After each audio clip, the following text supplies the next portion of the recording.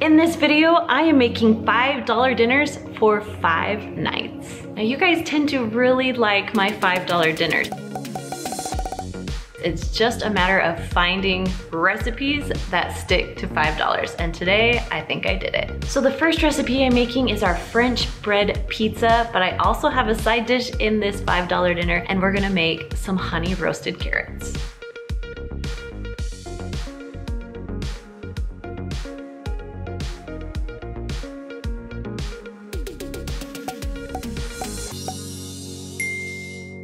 All right, so we're gonna pull out one loaf of our French bread and just cut it right in half. Next, you're gonna take your pizza sauce and just put it right on top of your French bread. Then you're going to shred your mozzarella cheese, and then we're gonna cover the French bread with it. Then you're gonna cook it for about 10 minutes at 350 degrees. Once the cheese is melted and they're pretty crispy on the outside, you can just pull it on out. Pizza is delicious, but I also love having a yummy side dish with it. So these carrots were only a dollar and we are going to roast them up. So we're gonna pour it onto a sheet pan. Then I'm just gonna add a little bit of olive oil, mix that around with my spatula. You kind of want, you want oil all over each carrot. Then we're gonna add some garlic salt. I know that sounds funny because these are honey roasted carrots, but garlic salt with the honey is delicious. So we're just gonna do garlic salt first and cook it just like this after we mix it, of course. So we're gonna bake it at 400 degrees for about 20 to 25 minutes until your carrots are soft. Okay, when the carrots are nice and cooked and soft, I'm just gonna scrape them off the bottom and put them all into one corner.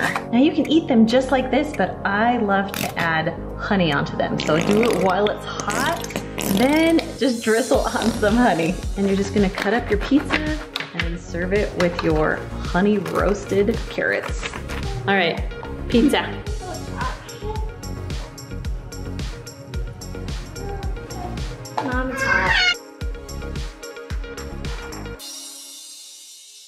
Course, the carrots. My kids love these. We have these at least once a week. Mm. Mm -hmm. The next recipe is our loaded baked potato.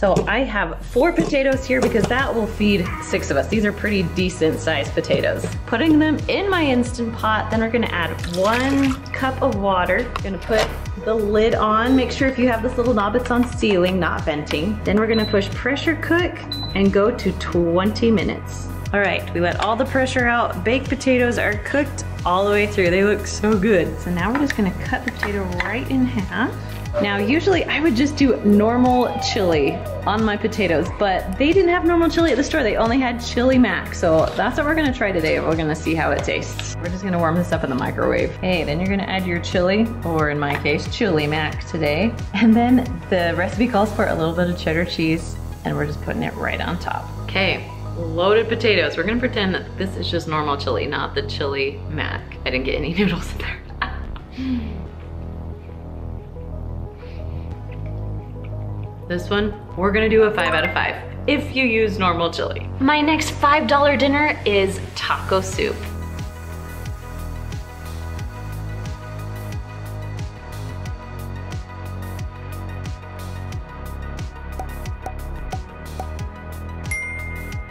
Now I wanted to make this as easy and as cheap as possible. So this recipe, you actually get beans, corn, rice, and red peppers. So we're just going to cook these for our taco soup. So I bought two bags of these and it does have some seasoning and flavor in there.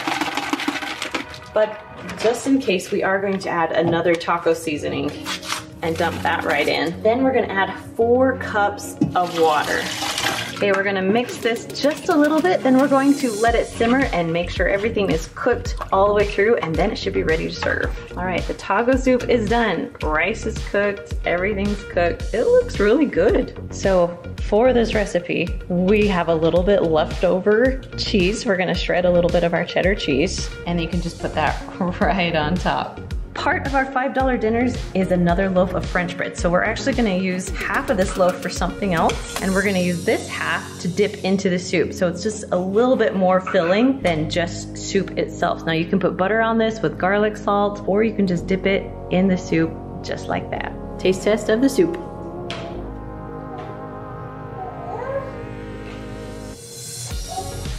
I kind of like it, so I'll give it a 5 5. The next recipe I'm making is baked spaghetti.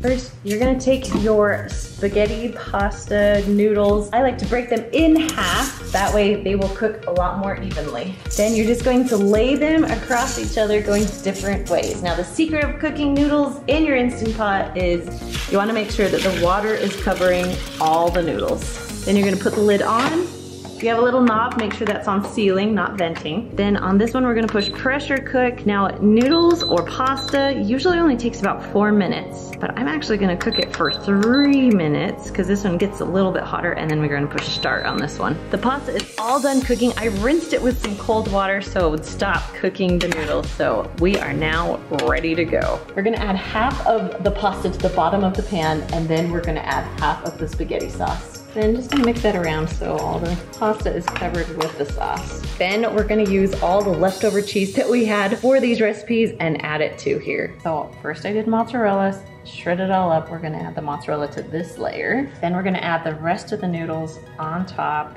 I'm not gonna do all the noodles, it's just a little too much. There's just a little bit left and that's okay. We wanna be sure to taste the spaghetti sauce. And again, we're gonna add the sauce.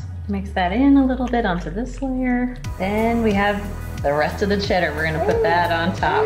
Then we're gonna cook this about 350 degrees for 10 minutes. All right, baked spaghetti, done. All right, poor man spaghetti.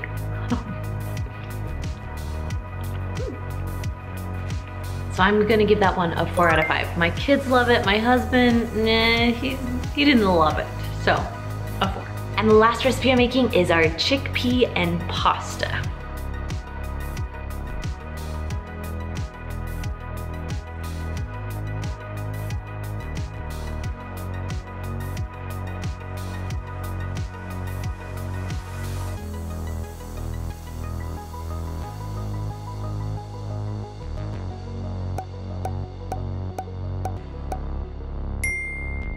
So in a saucepan, I am going to add some olive oil on medium-high heat. Then I'm gonna add in half of the chopped onion, and I'm also gonna add half the bag of chopped spinach. Then we're just gonna cook this until everything is nice and softened. Next, we're gonna add our fire-roasted diced tomatoes, and then one can of chickpeas.